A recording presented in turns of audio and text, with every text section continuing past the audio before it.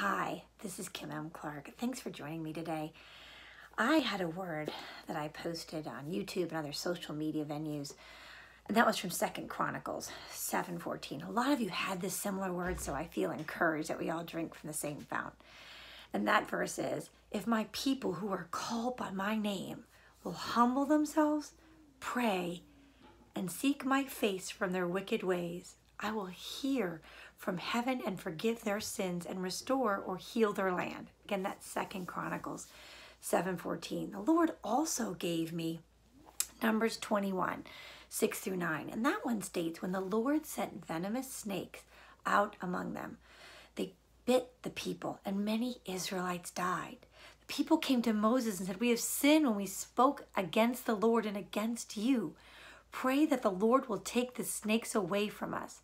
So Moses prayed for the people. The Lord said to Moses, Make a snake and put it on a pole.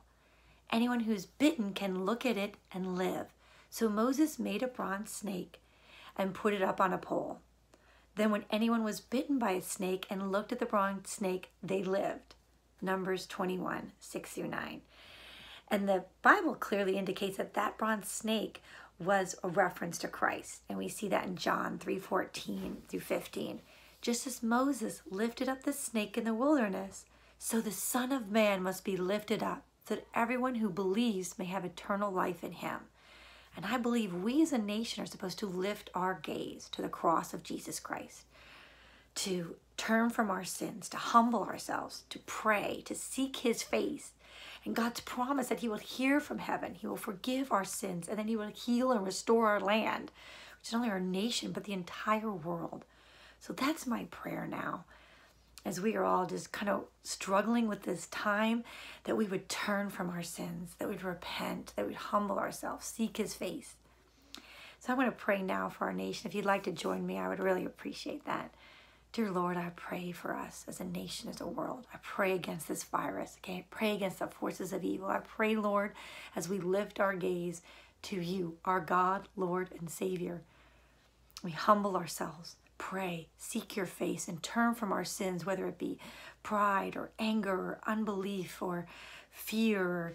Oh, there's so many, Lord, but you know them all. So we just submit them to you, Lord. And we pray, Lord, that you would hear from heaven you would forgive our sins and you would restore and heal our land. Pray, Lord, you would heal those who have been affected, who are sick from this virus. You would heal them in Jesus' name. Those who have not been affected, that you would, Lord, protect them, put a hedge of protection on them. This virus would infect and afflict us no longer. That as we look upon the cross and lift our gaze to you, Lord, that you would comfort us, draw near your people, remove the spirit of fear, and give us your peace, the one that transcends all understanding. I pray this in Christ Jesus' name. Amen. Again, I'm Kim Clark. I have a new devotional that's coming out. Actually, I'm pre-selling it right now. I think it's perfect for this time. It's short, 30 days, and they're little just, just snippets or nuggets just from Lord just speaking sweet words to me that I've just incorporated with scripture that I think would really bless you. I'm having a pre-sale now. Go to my website. It's www.kimmclark.com backslash Devo. Go there. You can pre-sale pre-order a copy. And the great news is if you buy one right now in the pre-sale time, you can get another copy. So it's a buy one, get one to bless someone else. So this is a time of blessing. So I really pray that you'd be able to do that and that God would bless you and protect you. Take care and have a great day.